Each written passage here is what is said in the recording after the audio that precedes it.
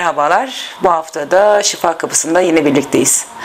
Bu haftaki konuğumuz uzman doktor Züleyha Kadehçi, radyasyon onkoloji uzmanı. Evet. Hoş geldiniz Züleyha Hanım. Hoş bulduk. Teşekkür ederim. Sağ. Nasılsınız? Teşekkür ederim. İyiyim. Ee, hastalarla işte tedavi. Kısaca sizi tanıyabilir miyiz? Ben radyasyon onkolojisi uzmanıyım. Ee, mesleğimde 22 yılım, e, mesleğimdeki 22. yılım. Maşallah. Ee, yaklaşık 16-17 yıldır da Avrasya Hastanesi'nde çalışmaktayım. Artık burası e, tedavi ettiğim hastalarla birlikte, e, kurumumla birlikte bir e, ikinci bir ailem diyebilirim burası için. E, yılda ortalama e, bine yakın hasta tedavi etmekteyiz. Radyo, radyoterapi uygulanan hastalar ortalama yılda e, bine yakın hasta tedavi etmekteyiz. Hocam sorulara geçelim biz. Tabii ki. Tabii Evet. ki. Kanser nedir hocam? Kanser nedir? Kanser kontrolsüz üreyen hücre topluluğudur. Yani vücudun herhangi bir bölgesinde e, kontrolden çıkan bir e, hücre dokuya dönüşüyor, o doku büyüyor, organ Evet. kadar büyüyerek e, durdurak bilmeden büyüyüp bir kitle halini oluşturup e, vücudumuzdaki sağlıklı e, dokulara da zarar verip işlev yapmasını engelleyecek şekilde üremeyi e, hızlı hızlı devam ettiren bir hastalıktır kanser hastalığı. Kanser hastalığı e, önemli bir hastalıktır. Tedavi olması ile ilgili e, çok önemli bir hastalık, çok sık görülen bir hastalık türü olduğu için tedavi ile ilgili de e, çok e, hızlı bir şekilde e, tedavi yöntemleri e, hızlı bir şekilde gelişmektedir. E, radyoterapi cihazları olarak kemoterapi ilaçları, akıllı ilaçlar, cerrahi teknikler bunların hepsi gün geçtikçe çok hızlı bir şekilde e, kendisini yenileyip hızlı bir şekilde hastaların en iyi şekilde e, tedavi olup bu hastalıktan kurtulmasını sağlayacak şekilde e, çalışmaktayız diyebilirim. Evet. Hocam e, kanser çeşitleri nelerdir? Kanser çeşitleri e, erkeklerde ve kadınlarda kanser çeşitleri farklılık göstermektedir. En sık e, akciğer kanseri erkeklerde görülmektedir. E, akciğer kanserinin görülmesi e, akciğer kanserinin %85 sebebi de sigaraya bağlıdır. Sigara e, akciğer kanser oluşumunun %85 nedenidir. E, kadınlarda da akciğer kanseri görülmektedir ama kadınlardaki görülme sıklığı erkeklere göre daha azdır. Hocam bu neden? Yani erkekler ve kadınlar arasındaki neden e, daha çok sık? Neden? Çünkü kadınlarda e, sigara e, tüketimi daha az olduğu için akciğer kanser görülme e, sıklığı da daha azdır. Ama maalesef son 5 yıl içerisinde kadınlarda da sigara içme oranında hızlı bir şekilde artış görüldüğü için kadınlarda da e, akciğer kanser görülme oranı çok daha yüksek seviyelere çıkmaktadır.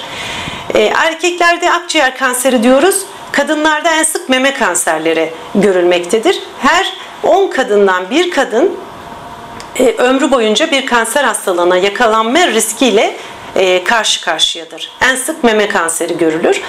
E, ondan sonra e, bağırsak kanserleri, işte bu kolon kanserleri, rektum, mide kanserleri bunların hepsi içerisine alacak şekilde sıklıkla görülmektedir. Bağırsak kanserleri. Ondan sonra sırasıyla kanser çeşitleri her iki cinste de erkek ve kadında da e, her türlü kanser görülmektedir diyebilirim. Kanser için erken tanıda nasıl bir müdahale etmesi lazım insanların kendisine?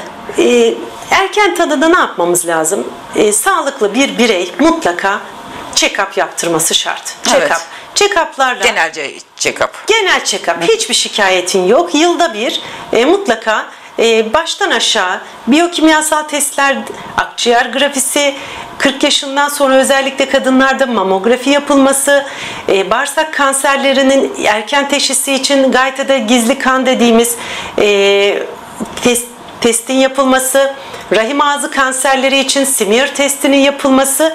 Bunlar hem invazif olmayan yani hastaya zarar vermeyen ama e, teşhis konduğunda da e, kişinin e, çok erken evrede tümöre yakalanmasına sebep olduğu için de e, kaliteli yaşam sunar bizlere. O yüzden check-up diyorum ben. Mutlaka sağlıklı insanların erken teşhiste check-up yaptırılması Evet, şarttır. yılda bir diyorum. kere check-up yaptırılması Check-up- gerekiyor. Check-up şarttır. Öyle diyebiliriz. Evet, en çok görünen kanser çeşidi nelerdir?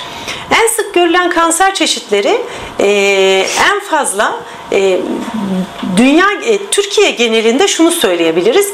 E, yılda ortalama 200 bine yakın 180 ile 200 bin arasında yeni kanser tanısı konmaktadır. Bu çok büyük bir rakam. Evet. 180 bin kişiye yeni kanser tanısı konmaktadır. E, bu e, kanser tanısında da e, ta- ka- kanser tanısı kona- e, konan kişilerin özellikle kadınlarda meme kanseri, e, erkeklerde akciğer kanseri görülmektedir. Erkeklerde yine prostat kanseri önemlidir. Yine e, kadınlarda rahim ağzı kanserleri tedavi edilebilecek kanserlerdir bunlar. E, aile öyküsü varsa zaten mutlaka e, daha dikkatli tetkikler yapılması gerekmektedir. Bunları bu şekilde söyleyebiliriz. Evet. Evet. Peki hocam e, kanser hastalarının bir psikolojik durumu oluyor. Kesinlikle, Yani, e, Bu evet. psikolojik durumda e, bir yardım almaları gerekiyor mu? Evet. Şimdi kanser hastaları teşhisi konup bizim e, bizimle karşı karşıya geldiğinde ömrü boyunca hiç doktora gitmemiş olan kişiler olabiliyor. Hiç Evet. ömrü boyunca gitmemiş ve normal e, aktif iş yaşantısında olan insanlar olabiliyor. Aktif iş yaşantısında olduğu zaman bu tedavi e, yaptığımız e, kanser tedavisinin süresi 4 ay ile 6 ay arasında uzayabiliyor. Bu dönemlerde tedavi sırasında hastanın yaşam kalitesinde düşmeler oluyor. Yani e, yaklaşık e, tedavi gören hastaların yarıdan çoğunda kendi başına desteksiz bir şekilde e, günlük ihtiyaçlarını karşılayamaz hale geliyorlar. Nasıl bunlar? Tuvalet ihtiyacı, yemek yeme ihtiyaçları, yemek yeme işte bulantısı, kusması olduğu için, e, beslenme bozuklukları olduğu için e, ve enerjisi düşük olduğu için bunlar e, hayat kalitesini düşü- düşürebilir. Evet.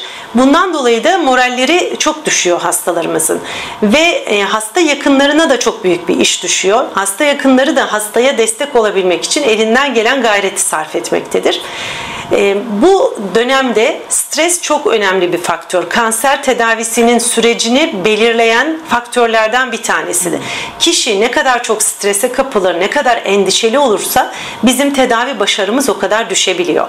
Bunu nereden biliyoruz? Yapılan hayvan çalışmalarında iki tane fareye e, kanser hücresi enjekte edilmiş. Bir tanesine gürültülü ortam e, e, oluşturulmuş, diğerine sakin bir ortam. O gürültülü ortamda e, duran e, farelerin daha fazla e, kanser hücrelerini büyüttüğünü, ilerlediğini görüyoruz. Bu ne demektir? E, stres, endişe, korku, panik bunlar hep bizim tedavimizi olumsuz yönde etkileyen Evet. faktörlerdir. Onun için tedavi sırasında özellikle uyku düzeni bizim için çok önemli, moral e, önemli ve gerekirse eğer e, depresyona da varabilecek şekilde endişeler artarsa biz o zaman bir e, uzman psikiyatri uzmanı bir psikologlar tarafından hastayı yönlendirme yapmaktayız ve bizim sürecimize daha olumlu olarak yansıması için Evet. bunlara da desteğe ihtiyacımız var diyebiliriz. Evet. Çevre faktörü çok önemli galiba Çevre hocam. faktörü kesinlikle çok Evet. önemli. Hastanın bir de bu tedaviyi yeneceğini, pardon bu hastalığı yeneceğine Motivasyon. dair inancı olması lazım. İnancı olmazsa ben en iyi tedaviyi yapsam da hastalara e, hasta bundan başarı sa- ed- elde edemez maalesef. Evet Onun hocam. için moral motivasyon çok önemli, inanç çok önemli, e, umudunu kaybetmemesi çok önemli. E, çevredeki e, söylenen sözlere kulakları kapatılması gerekir. Çünkü çevrede maalesef e, bu olayla ilgili, bu hastalıkla ilgili travmatik öyküler bulunur ve herkes kendi olumlu olarak değil de olumsuz travmatik öykülerini hastaya maalesef Kesinlikle. aktarırlar. Bu da onu ya ben ne yaparsam yapayım zaten e, sonuca ulaşamayacağım diye Evet. endişeye kapılır. Bu da bizim işimizi zorlaştırır. Evet. O yüzden e, hastayla el ele tutuşup e, bu işi e, hızlı bir şekilde e, kökünden çözmek veya en azından kaliteli yaşama ulaşabilmek için e, birlikte işbirliği içinde tedavimize Evet. e, el vermemiz gerekir Hocam diyebilirim. işiniz gerçekten de çok zor. Ee, kanser sürecinde ailelerin psikolojik durumu nasıl oluyor hocam? Ailelerde de endişe oluşmaktadır. E, çünkü e, zaman zaman şöyle oluyor. E, kişinin ailesi e, hastalığı e, bütün detaylarıyla hastaya paylaşmıyor. Bütün e, sorumluluğu üzerine alma durumları olabiliyor. Hani e, endişelenmesin, olumsuz yönde etkilenmesin diye ai- ailelerin de e, şeyi var. Yani üzerindeki yük çok fazla miktarda. O yüzden de e, ailelere çok büyük iş düşüyor diyebilirim maalesef. Kanser hastalarına e, genelde aile e, veya çevreler acı duygusuyla, acıtasyon duygusuyla yaklaşıyorlar. Evet. Şimdi sizce bu doğru mu? Öyle olmaması lazım. Yani çünkü bu bir e, herkesin başına gelebilecek bir hastalık.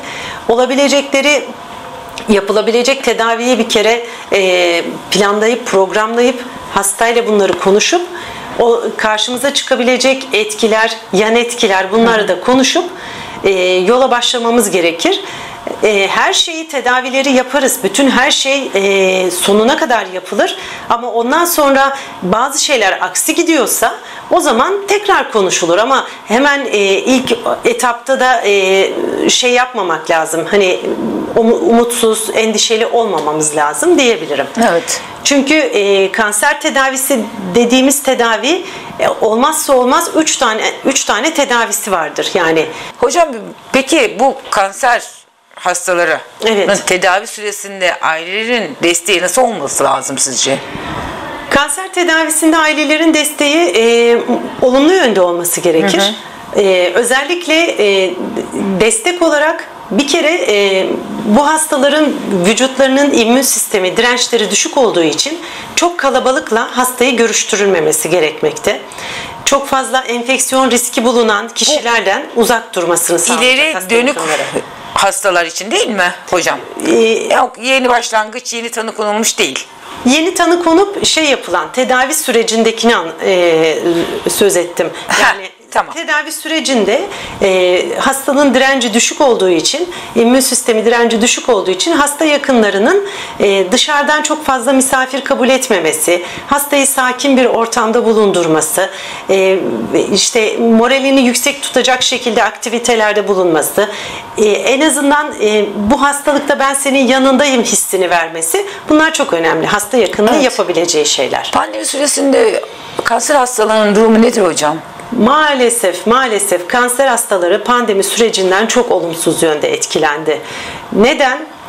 Hastalık endişesiyle hastaların herhangi bir şikayeti de olsa maliniteyi düşündürebilecek, kanser hastalığını düşündürebilecek şikayetleri olmuş olsa da bu şikayetleri için teşhis yönüne ötelediler ve evden çıkmamak yani hastalık daha kötü enfeksiyon hastalığı covid e, pandemisi kötü evden çıkmayalım derken kanser hastalarının e, vücudundaki e, hastalık maalesef e, ileri evrelere İleri gitmeye gitti, başladı. gitti.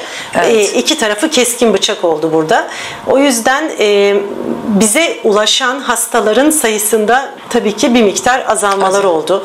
E, teşhisin konması ile ilgili de e, gerilemeler oldu. E, daha e, uzamalar oldu teşhis konmasında. Öyle olunca maalesef kanser hastaları pandemiden çok etkilendi. Ben mutlaka şunu söylüyorum. Herhangi bir şikayetiniz varsa zaten belli e, kurallar vardır. Maskeni taktıktan sonra, mesafeni koruduktan sonra, hijyenine dikkat ettikten sonra e, mutlaka hastaneye doktor kontrolüne gitmesini öneririm. Yani evde beklemektense hastanede e, mutlaka bu tetkiklerin yapılması için hastaneye gitmelerini öneririm Evet. kişilere. Peki hocam e, kanser hastası, korona olan kanser hastası bu durumda nasıl etkileniyor? Evet onlar da oldu. Tedavi sırasında bizim burada Avrasya Hastanesi'nin radyoterapi bölümü yaklaşık iki yıldır bir gün daha dahi e, eksik yani aksaklık yaşamadan hastalarını düzenli bir şekilde tedavi etti diyebilirim. Bu tedavi sırasında e, radyoterapi dediğimiz hani e, ışın tedavisi sırasında hastalarımızın e, korona teşhisi de kondu Evet. ve e, onun tedavileri de uygulandı. Orada iki hekim enfeksiyon hastalıklarıyla onkoloji doktorları iki karşılıklı hekim hasta için hangisinin öncelikle toparlanması gerektiğini birlikte karar verdik ve hastalara çok vakit kaybettirmeden öncelikle hastanın e, korona tedavisini, COVID-19 hastalığı tedavisini uygulandı. Ondan sonra da hastanın kan değerleri normale geldiğinde e, direkt e, radyoterapi tedavilerine devam ettiler. Evet. Böyle olan hastalarımız var ve bu süreci çok iyi bir şekilde aktar e, atlattılar. E, kanser hastalarının immün sistemiyle ilgili bir düşüklük olmadığı müddetçe e, bizlerden de e, onay aldıktan sonra hastaların mutlaka e, COVID-19 aşısının olmasını önerdik ve hastalarımız aşılandı. Çünkü dirençleri çok düşük olduğu için hastalığı atlatmaları çok daha ağır oluyor. Hastalıkla Covid-19 hastalığıyla baş etmeleri çok zor oluyor. Bu- Bunun koruma yöntemi olan aşılanmaya da mutlaka destekledik ve onları yönlendirmelerini yaptık. Onu söyleyebilirim. Evet hocam şöyle bir duyum oluyor halk arasında söyleşi oluyor. İşte kanser hastaları koronavirüs aşısı olmasın birbirini tetikliyor gibi bir birbirlerine bir duyum Tam var. tersi. Asla böyle bir kanıya kapılmamaları gerekiyor. Çünkü aşı dediğimiz e, bu benim kendi branşım değil ama şunu söyleyebilirim. E, hastalığı bir şekilde vücuda tanıtmak. Hastalığın e, e, kanser hastalığı olan hastalara böyle bir e, düşman var, böyle bir düşmanla savaşman gerekiyor diye ona bir sinyal verdirmek. Amaç budur. E, en azından vücut kendisini e, bu bu şeye karşı savaşa hazır hisseder, e, kendini toparlar. Tekrar gerçek hastalık geçirmeye e, durumu olduğunda da daha hızlı cevap verir, daha direnci yüksek olur. Asla böyle bir şey değil. Yani hastalığın e, COVID-19 aşısının kanser hastalığını kötü yönde tetiklediğine dair hiçbir şekilde e, böyle bir e, yaklaşıma ka- kapılmamak gerekir. Evet. Böyle diyebiliriz. Ee, hocam bu kanser hastalarında ee, bölge işte atıyorum bağırsak kanseri işte ee, akciğer kanseri, rahim kanseri arasındaki hastalıklarda kişilerin etkilendiği durumlar nelerdir? Çünkü bazıları diyor ki işte bir şey yok geçer. Bazıları diyor ki aa çok ağır bir hastasın sen. Çünkü bu ne çevre faktörüne giriyor birazcık galiba. Şimdi bunlar için hastalarımıza ne demek istersiniz? Şimdi e, her organın kanseri farklıdır. Her Evet. organın vücudumuzdaki beyinde oluşan e, şeyin tümörün kanserin e, patolojik tipi farklıdır, tedavisi fark- farklıdır. Akciğerlerde görülen e, kanserin tedavisi farklıdır. Yemek borusundaki görülenlerin tedavisi farklıdır. Yine kas tümörleri dediğimiz yumuşak doku sarkom dediğimiz hani kanser değil sarkom oluyor onlar. Bunların tedavileri farklıdır. Gidişatları farklıdır. Bizim için en önemlisi patoloji bizim için önemli. Patolojide e, o kanserin ilerleme şekli, nasıl seyredeceği, akıllı ilaca uygun mu, değil mi? E, cerrahi olarak tam çıkarılırsa e, yaşam beklentisi ne kadar olabilir? Hep bu bizim kilit olarak patoloji bize yol gösterir. E, eğer e, mesela geniz kanserleri vardır. Burnun arkasında, kulakların arkasında, kafa tabanının tam ortasındadır. Ve onun cerrahi olma şansı sıfırdır. Çünkü cerrahi olarak onun çıkarılması mümkün değil. Yani onların tedavisinde radyoterapi tedavisi kullanılır ve Her- tedavi başarısı çok yüksek. Her kanserli hücreye ameliyat önermiyoruz. Kesinlikle. Mesela lenfoma, lenf tümörlerinin e, tedavisinde cerrahi uygulanmaz. Onlarda kemoterapi uygulanır, radyoterapi Hangi uygulanır. aşamada bu kanser e, e, hastalıklarına ameliyat uygulanıyor? E, erken evre olanlarda, Erken. evre 1 ve 2 olanlarda yani organ içinde sınırlı e, yayılımlı olan tümörlerin cerrahisi mümkündür. Ne kadar e, o dokunun çevresine yayılmış, çevresindeki diğer organlara da e, itilme, çekilme şeklinde büyümüşse onun cerrahi olarak tamamen çıkarılma şansı yoktur. O yüzden de evet cerrahi olarak çıkarılabilir ama çevre dokuları tamamen sıyıran, sıyrılmayacağı için e, tedavi sonrası, ameliyat sonrası başarısı çok daha düşüktür. Biz cerrahiyi e, erken evre tümörlerde tercih ediyoruz. Evre 1 ve evre 2 tümörlerde cerrahinin e, yeri çok daha önemlidir Evet. diyebiliriz. Ee, halk dilinde bir de dişi kanser hücresi Evet. erkek hücre diye bir algı var. Evet. Nasıl? Şimdi burada kanser tedavisi gören hastaların, bizim burada tedavi ettiğimiz hastaların %95, %98'inden e, gibi diyebileceğim e, halk arasında dişi dediğimiz türdür. E, bir de erkek tür dediğimiz hani sıçramayan, üremeyen türleri vardır. Ama bunların yerleşim yeri zaman zaman hani beyin içerisinde e, biyopsi alınamayacak şekildedir. Bir damarın çevresini tutmuş olabilir. Veya işte e, çok nadir e, iyi huylu olup da tedavi gerektirecek e, tümörler vardır. Bunlar yüzde bir, yüzde ikilik grubumuzu oluşturur. Asıl bizim tedavi ettiğimiz grup halkın arasında söylenen dişi tümör dediğimiz dişi olan üreyen tip e, hastalıktır. Kanser türü o şekilde diyebiliriz. Erkek hücre kanserlerinde daha çok ameliyatla Aynen. Yani Ameliyatla tam başarı dişi elde daha edilir. çok ilaçla mı? Evet, dişi olanların e, tam kanser türü diyoruz zaten dişi olanlarda. Yayılma Diğer- oranı daha çok yüksek. Halk arasında söylenen erkek türü benin deyen, denen iyi huylu tümörlerdir. Ama bu malin dediğimiz kötü huylu tümörler halk arasında dişi tümörler olarak adlandırılır. Bu şekilde söyleyeyim. Anladım hocam. Gelenler haklı olarak soruyorlar bizimki dişi mi işte falan diye. Hani o belli kafasına belli bir yere oturtması gerekiyor ki tedavisini de ona göre. Bu ilk tanıda belli olmuyor galiba hocam. Öyle mi? İlk Yoksa tanıda, e, radyo e, biyopsiden aldıktan sonra mı belli oluyor? biyopsi alındıktan sonra belli olur. Aa, o- Çünkü ilk olarak görüntülenen e, radyo- e, radyolojik görüntülemeler, kan tetkikleri bize bir miktar yol gösterir. Ama asıl şey, e, asıl bizi hedefe ulaştıran, tedaviye e, karar vereceğimiz son aşama patolojiyle parçanın alınıp şey yapılmasıdır. Yani hani bize son e, cevabı söylemesidir diyebilirim. Patoloji önemli burada. Ee, farklı bir şey soracağım hocam. Tabii ki. Ee, şimdi mesela bazen halk arasında ben de duyuyorum. Mesela diyorlar ki işte diş doktoruna gittim. Ama oradan ben mikrop kapmışım. Kanser ge- gelmiş. İşte e, ağzımı kazıdılar.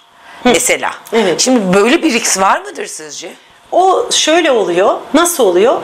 Ee, ağzı, ağız içerisinde e, işte Mantarlaşma mı oluyor o kansere dönüşüyor? mantarlaşma demeyelim de ağız içerisinde diyelim ki e, kronikleşmiş enfeksiyonlar, kronikleşmiş enfeksiyonların tedavi edilmediği takdirde e, çok uzun süre e, bir de e, çevresindeki hani o e, diyelim ki e, oradan geçen yabancı e, şey etkileşimle diyelim ki ağız içerisinde bir yara var. Büyüdü, e, apseleşti e, ve bu kişi de sigara kullanan birisi. Düzenli bir şekilde sigara içiyor. Ağız yolundan o sigara e, bir şekilde nikotinli her tarafını e, o şeyin o yaranın çevresinde e, kötü bir e, şey oluşturuyor, zemin oluşturuyor Evet, iyileşme sürecini iyileşmesi geciktiriyor. Geciktiriyor. O gecikme sürecinden sonra nadir de olsa bunların maliniteye dönme riski vardır. Hmm. Kronik enfeksiyonların maliniteye, tümöre dönüşme riski vardır uzun süreli kaldığında. Ama dış etkenler dediğimiz diğer işte sigara, e, yabancı maddeler, işte kimyasallara maruziyet bunlar da üzerine eklenirse tabii ki uzun sürecek e, enfeksiyonların maliniteye dönüşme riski vardır. Öyle Evet. diyebiliriz. Teşekkür ederim hocam. Teşekkür Peki radyasyon cihazlarımız kanser hastası bunlarla ilk karşılaşında tepkisi ne oluyor hocam? Evet aslında şöyle oluyor. Hemen ilk gelen kişi şunu soruyor bana. Cihaz kapalı cihaz mı? İçine girecek miyim? MR cihazı gibi mi? Ee, nefes alabilecek miyim? Hareket ederken bir şey olacak mıyım? Çünkü hiç ömrü boyunca bilmediği bir şey. Bilmediği yani bir bilmediği bir ortam. şey. Yani Evet. ee, ve oraya bir şekilde biz tedavi ettiğimizde o e, dokunun üzerine, hastanın üzerine imzamızı atıyoruz. Yani hadi şimdi fizik tedavi gibi değil ki bu. Şimdi Bilinçsiz tedavi oldun. için. Hadi ondan sonra 6 ay sonra tekrar gel. Öyle bir şey yok. Bu nokta atış yaptığımız bir tedavidir. Cihazı anlatayım ben size. Cihazlarımız tomografi cihazı gibi ama e, çevresi açık. Yani cihazın e, bir başlığı var. O başlık e, masa, hastamız masanın üzerine yatıyor. Üzerinde bir başlığı var. O başlık 360 derece dönen bir başlık. O başlık döndükçe e, bizim istediğimiz e, has, yatan e, cihazın masasında yatan hastanın e, radyoterapi uygulanacak e, bölgesine işaretlemeler koyuyoruz ve o cihazın başlığı o e, hastanın çevresinde döndükçe şekil değiştirerek böyle bir sanat eseri gibi düşünün şekil değiştire değiştire e, 360 derece e, dönüp e, bir üç boyutlu bir bölgeyi ışınlar hale geliyor. Bunun e, bize faydası nedir? Diyelim ki tümör e, akciğerin alt kısmında ama çevresinden kalp geçiyor. Yemek borusu geçiyor. Cihaz öyle bir e, güzel bir e, robot gibi diyebiliriz.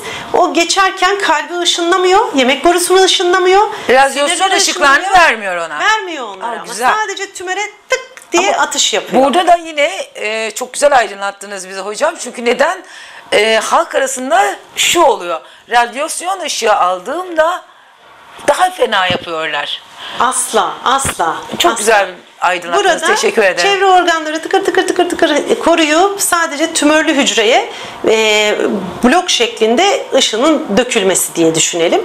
Ama bu e, hastanın cihazda kalma süresi maksimum 10 dakika. 5 dakika 10 dakika. Çünkü e, o sürede hastanın kontrol filmlerini yapıyoruz. Hasta düzgün mü yattı, doğru mu yattı bunlar çok önemli.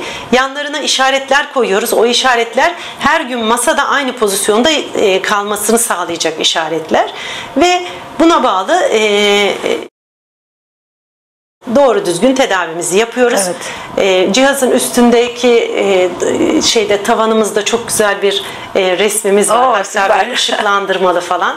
E, hastanın moralini de düzeltecek Evet. şekilde. E, bu şekilde hastalarımız konforlu o- bir tedavi Evet, çıkıyorlar. radyasyon cihazına yattıklarında bir korku Evet. Telaşesi uyguluyorlar kendilerine. Kesinlikle.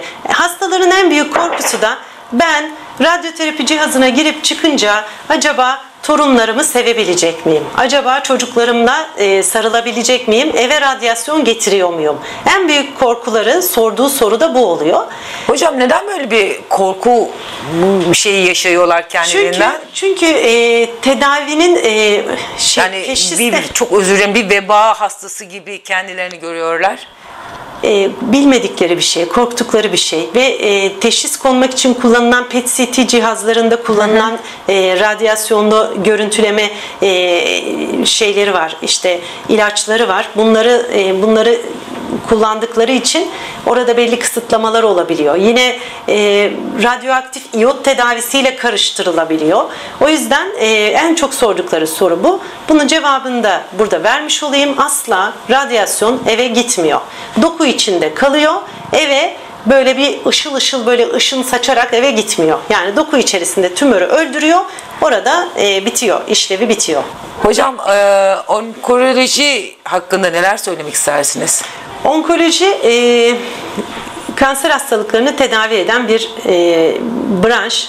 Buradaki e, tedavi tedavi olanakları işte cerrahisi var, e, kemoterapi dediğimiz ilaç tedavisi ve ışın tedavisi var.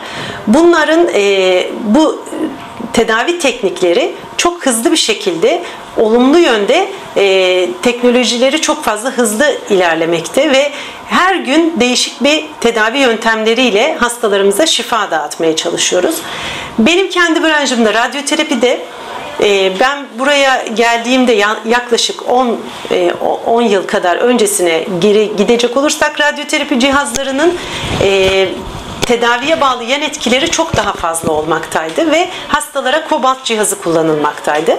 Kobalt cihazıyla doğal radyasyon üreten bir radyoterapi cihazı ve bunların yan etkileri çok daha fazla olmaktaydı. Radyasyon cihazıyla onkoloji birbirine ne kadar bağlı? Ya da o süre nasıl aralarındaki? Radyasyon cihazın e, cihazlarıyla kanser hastalarının tedavisi e, hemen hemen bütün hastalar demeyeyim ama hastaların %70'i %80'i radyoterapi ile tedavi olmaktadır. Yani hastaların çok büyük bir kısmı e, hem kemoterapi hem radyoterapi hem cerrahi bunlardan birini olur ve bütün kanser hastalarının yaklaşık %70 %80'i mutlaka radyoterapi cihazına uğrar ve orada tedavi olur. E, tedavi olarak da yani erken evre veya geç evrede e, fark etmez her evrede e, bu radyoterapi cihazlarını kullanmaktayız diyebilirim. Evet. O şekilde. Ee, ilaç tedavileri zaten başından sonuna kadar aynı şeyde mi gidiyorsunuz yoksa e, her evre farklı farklı Her evre, her patolojik tip, e, her hastanın yaşı, e, ek, ek hastalıkları işte tansiyon olması, diyelim ki e, işte kolesterolünün yüksek olması, şekerin yüksek olması veya kronik e, kalp hastalığının olması, böbrek hastalığının olması kemoterapi şe- şemalarını hep değiştirir. Yani kişiye özel kemoterapiler yapılır, ilaç tedavileri.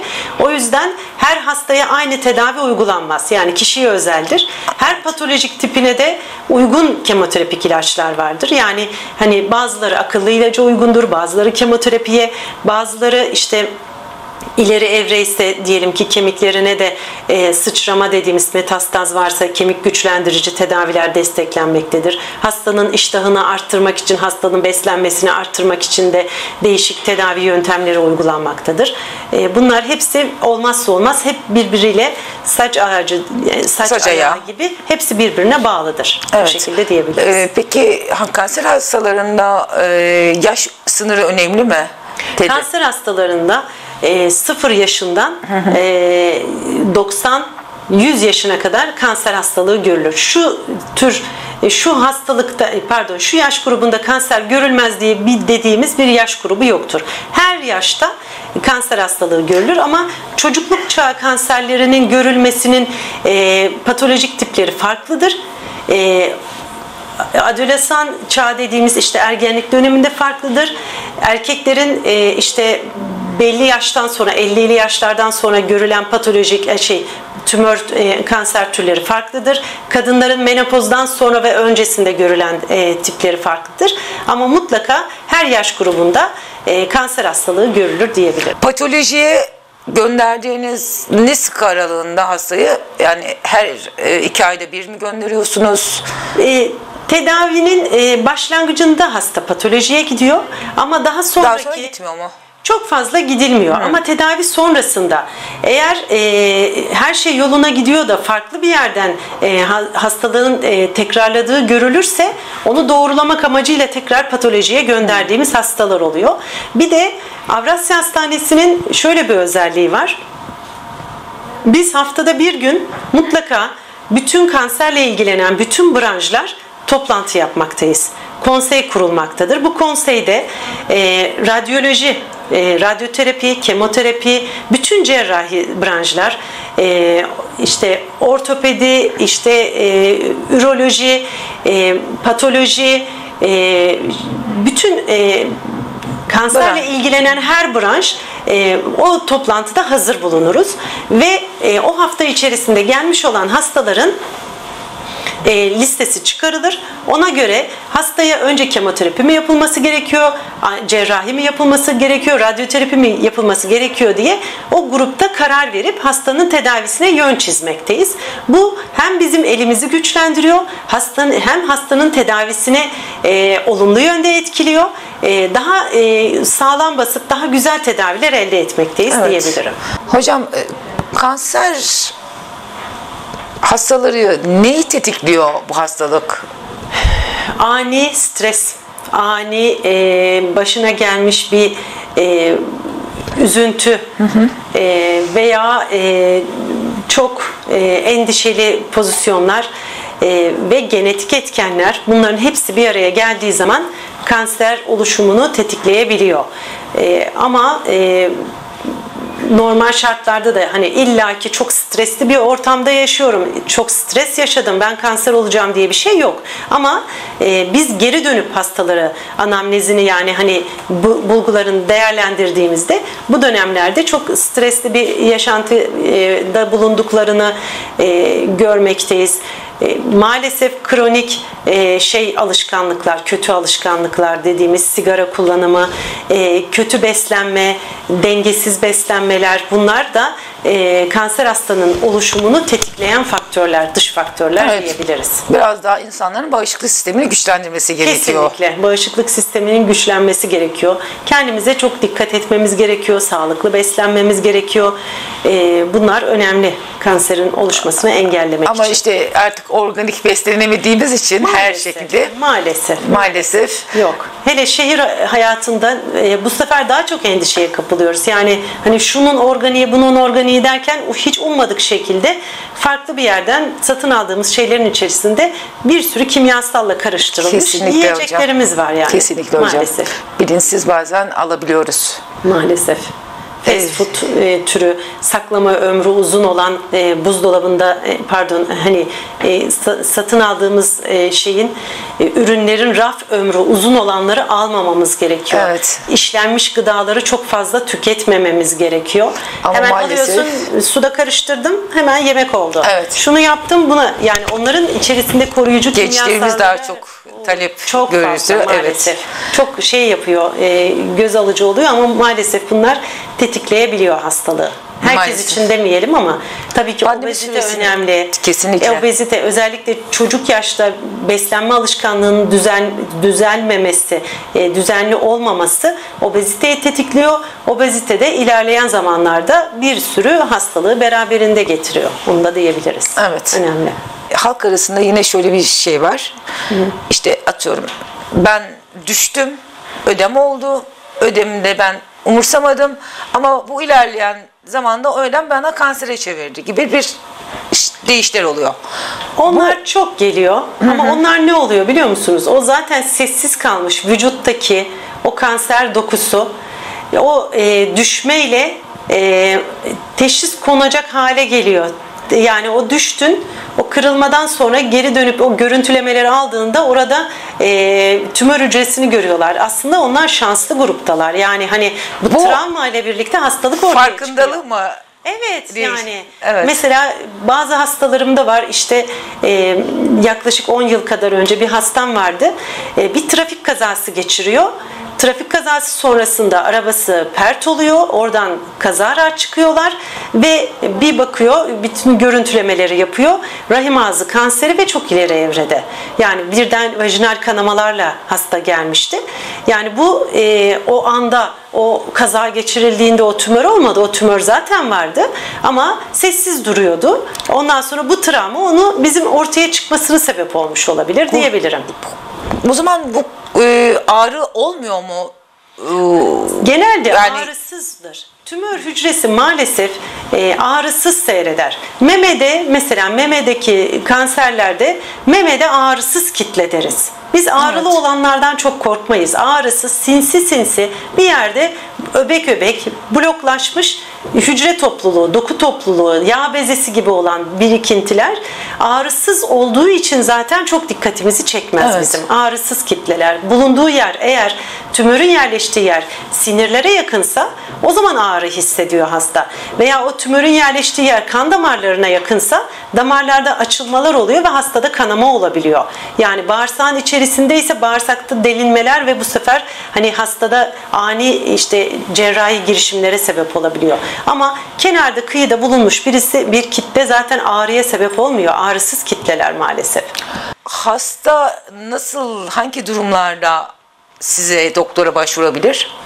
Aile öyküsü varsa, ailede kanser öyküsü olanlar mutlaka düzenli check-up yaptırmaları gerekir. Ondan sonra kişi 40 yaşından sonra mutlaka yılda bir mamografi yaptırması gerekir. Yine e, kadınlarda rahim ağzı kanseri için, teşhisi için sadece e, bir sürüntü, rahim ağzından sürüntü alıp yapılan simir testini yaptırmaları e, erken teşhisi gerektirir. Yani e, erken teşhise faydası olur. Yine erkeklerde bağırsak kanseri için e, kan sayımının bakılması, kan sayımı da hemoglobin erkeklerde özellikle düşükse, e, gaytada gizli kan dediğimiz büyük abdestin bakılıp işte mikroskopla bakılıp kanama olduğu görülürse bağırsak kanserini bize belirleyicisi olabilir. Uzun süre sigara kullanıyorsa, 10 yıldan fazla sigara kullanıyorsa, kesik kesik öksürüğü varsa, kilo kaybı hissediyorsa, ses kısıklığı varsa e, ve e, işte Parmaklarda çomaklaşma dediğimiz hani böyle parmak uçlarında yumuşak dokuda büyüme, ağrısız büyümeler ortaya çıkabiliyorsa bunlar akciğerin e, havalanmasının azaldığını gösteriyor. Bize e, akciğer kanser belirtisi olabiliyor mesela.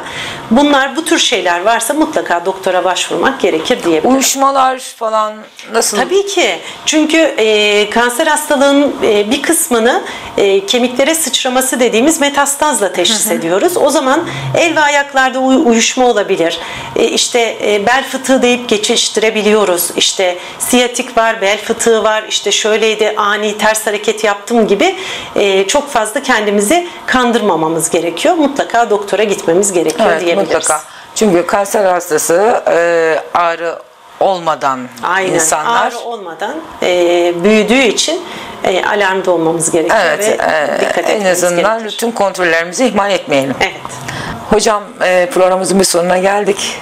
Bir söylemek istediğiniz başka bir şey var mı?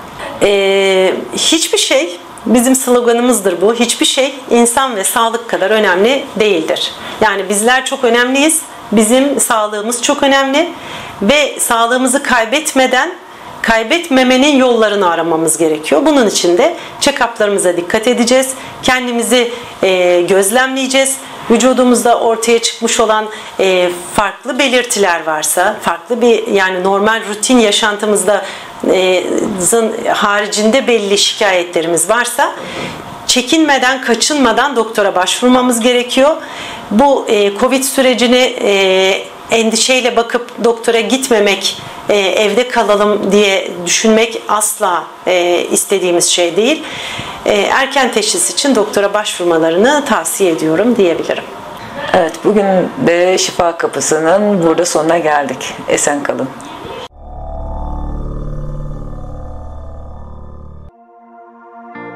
...1999 yılında dünya yeni bin yıla merhaba demeye hazırlanırken...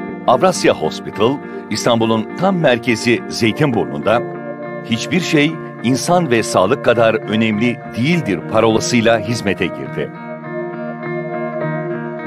Hastane olarak projelendirilen ilk özel hastanelerden biri olan Avrasya Hospital'ın farkı, ergonomik yapısı ve özel mimarisiyle öne çıkıyor, hizmet anlayışında 21. yüzyılında ötesinde bir kalite anlayışını benimsediği fark ediliyordu. Avrasya Hospital altyapısını yaparken ameliyathanelerine çok önem vermiştir. Hastanemizde 24 e, saat çalışabilen 6 e, ameliyathane vardır. Tam donanımlı, düzgün ameliyathanelerimiz vardır. Sağlık ne kadar öncelikliyse insan da en az o kadar değerliydi Avrasya Hospital için. Hasta ve yakınlarının memnuniyeti Avrasya Hospital'ın uzman kadrosunu da memnun ediyordu. Hasta haklarını esas alan duruşuyla ISO 9001 standartlarını yakalayıp Sağlık Bakanlığı, sağlıkta kalite standartlarında da A sınıf hastane olmayı başardı kısa sürede. Ben buraya manuel sandalye ile geldim. Şimdi gördüğünüz gibi ayaktayım. Doktorlarımı, hastaneyi o kadar çok seviyorum ki başım ağrısa buradayım. Türkiye'nin radyasyon onkolojisi ruhsatı alan ilk özel hastanesi olan Avrasya Hospital, daha geniş alanda, daha kaliteli hizmet verebilmek için yatırımlarına her geçen gün yenilerini ekleyerek büyüdü ve 17 bin metrekarelik kapalı alana ulaştı zamanla.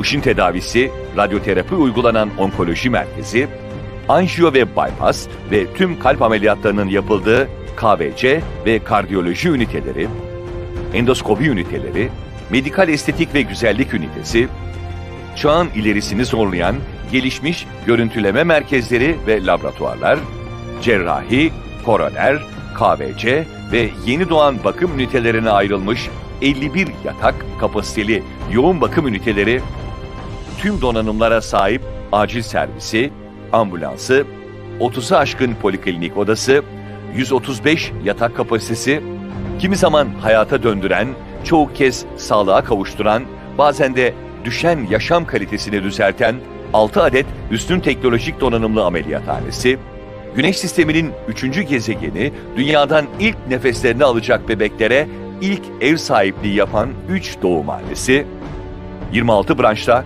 50'den fazla uzman doktor kadrosu ve 350 hasta odaklı çalışan personeliyle Avrasya Hospital 7 gün 24 saat hizmet vermektedir. Hastane bünyesinde yer alan saç ekim ünitesi her ay onlarca insanın mutluluğu yakalamasına yardımcı olmakta. Her bebek sevinç, mutluluk, neşe ve umut olarak doğar. Geleceği daha güzel kılacak olan onlardır. Avrasya Hospital, bebeklerle olan diyaloğunu onlar henüz anne karnındayken başlatmakta. Yakın ve özel takiplerle aileler mutlu final için hazırlanırken, bebeklerin anne karnındaki büyülü yolculuğu her aşamada takip edilip destek verilmekte. Doğum sonrasında ise sağlıklı büyüme ve gelişme için gerekenler yapılmakta. Bebekler Avrasya Hospital'la birlikte büyüyüp hayata alıştırılmaktadır.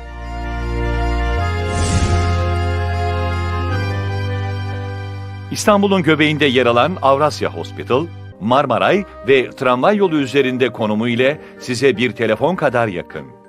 Bu telefon bir gün hayat kurtarabilir. 0212 665 50 50